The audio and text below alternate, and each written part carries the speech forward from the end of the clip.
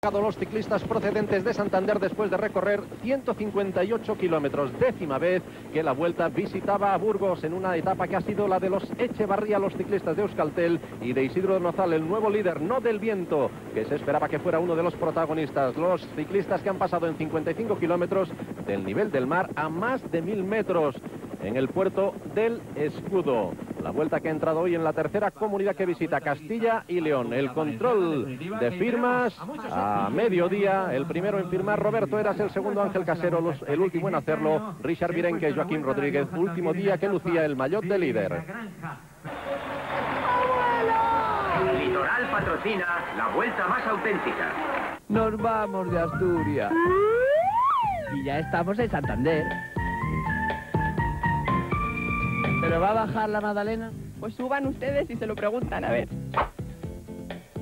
Por favor, ¿es usted la señora de la casa? Se estaba bañando. Magdalena, sal del baño. ¿Qué le pregunto a un ciclista? ¿Ves si le ha dado el de sí o no? Si le ha dado bien de sí... Claro. Pues no sé lo que habrá que habrá que preguntarle.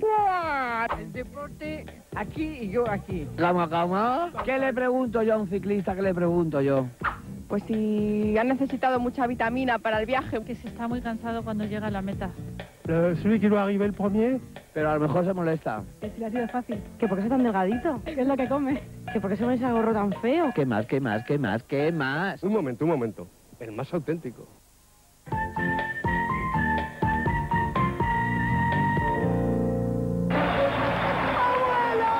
Litoral ha patrocinado la vuelta más auténtica. A la una y 20 de mediodía el alcalde de Santander, Gonzalo Piñeiro, cortaba la cinta y se daba la salida neutralizada a los 192 que seguían en carrera. No salió hoy Cadel Evans, el australiano del equipo Telecom, ni tampoco Oscar Masón. Y a las 13.45, después de 10 kilómetros neutralizados por Santander, la salida oficial a esos 192 restantes, aunque al final solo han llegado 190 a Burgos. Se han retirado por el camino Bonomi de Saeco y Shafrat de Telecom.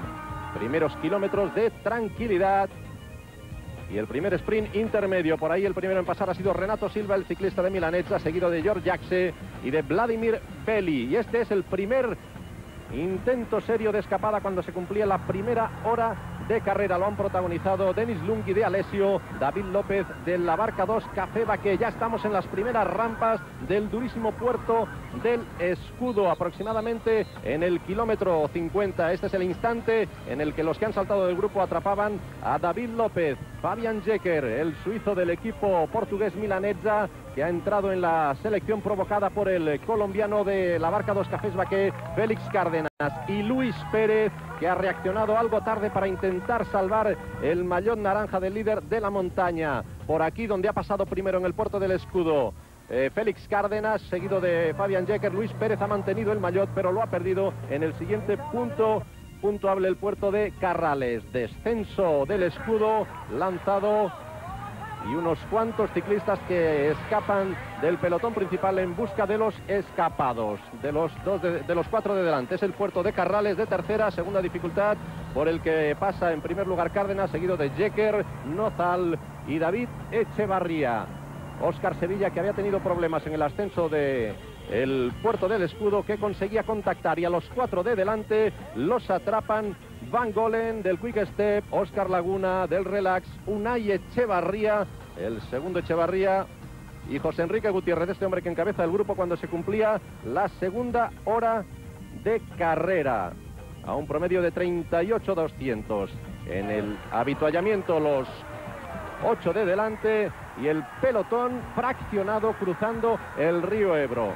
El pelotón principal en el que iban por delante el líder, Joaquín Rodríguez también, Igor González de Galdiano y todos los favoritos. Se habían quedado cortados, aquí los ven a todos estos. El más destacado de los que había perdido contacto era el vencedor ayer en Santander, Alessandro Petaki. El esfuerzo de los hombres de Fasa Bortolo que ha conseguido meter a su sprinter en el grupo, aunque después se volvería a quedar cortado. Tercera hora de carrera a un promedio esta tercera de 41.200 la hora. Y este es el instante a 20 kilómetros de meta en el que Unai Echevarría, el venezolano de pasaporte de nacimiento, se escapaba de sus siete compañeros de viaje en solitario hacia la victoria después de una contrarreloj de 20 kilómetros de un esfuerzo titánico. Rápidamente ha conseguido 20 segundos de ventaja y la falta de organización de los perseguidores y sobre todo la ayuda como lastre de su compañero David Echevarría le han permitido llegar en solitario. Fabian Jecker que ha tenido un enganchón con la moto de un guardia civil de los que ayuda en carrera, se ha ido al suelo, al final ha entrado a más de seis minutos y medio en meta del vencedor de Unai Echevarría. Todavía por ahí trabajaban en algún instante los ciclistas del equipo Fasaborto, lo veíamos también a los del US Postal Berry Floor, pero ya habían abandonado la lucha. A un kilómetro de la línea de meta, Unai Echevarría tenía ya segura su victoria. Después de tres días intentándolo, finalmente lo ha conseguido. A 44 segundos entraba segundo su compañero David Echevarría y también Isidro Nozal que se hacía con el mayor de líder. Combativo y mira, hemos ganado una carrera, estamos, estamos tranquilitos ahora y a ver si hacemos más cosas. Este mes el jersey amarillo lo tiene Ford. Ven a tu concesionario y conseguirás el mejor precio. Ford te ofrece este espacio. La tecnología no es exclusiva de la Fórmula 1 o el Mundial de Motos, también de la vuelta con el transponder. Este aparatito de 22 gramos se sabe la posición exacta de cada ciclista en meta o cualquier punto puntuable. En cada sprint intermedio tenemos una moto de estas que este, lleva ya instaladas todas las antenas, todo el soporte de detección, todos los sistemas de decodificación y un ordenador que recoge todas las informaciones y que está constantemente siendo observado por el juez árbitro. Cuando el pelotón pasa, pues automáticamente genera la clasificación y ya eh, la guarda dentro del disco duro por si luego hubiera algún tipo de reclamación. El transponder puede llegar a medir en 10 milésimas de segundo. El reglamento de ciclismo nos obliga cuando un corredor entra a menos de una diferencia de un segundo del anterior a aplicar al mismo tiempo. Pero se podría ya con este sistema dar una, eh, una clasificación individual de cada uno en milésimas. Lo que el ojo no ve, lo ve el transponder. Este mes el jersey amarillo lo tiene Ford. Ven a tu concesionario y... Esta es la clasificación de la cuarta etapa. Dos Echevarría en las primeras posiciones. Primero una y después su compañero de Euskaltel, David Echevarría. Tercero ha sido Félix Cárdenas. Cuarto José Enrique Gutiérrez. Quinto Jürgen Van Golen. En la clasificación de la combinada se pone primero Isidro Nozal por delante de David Echevarría. Tercero es Luis Pérez. Cuarto Joaquín Rodríguez. Quinto Igor González de Galdeano.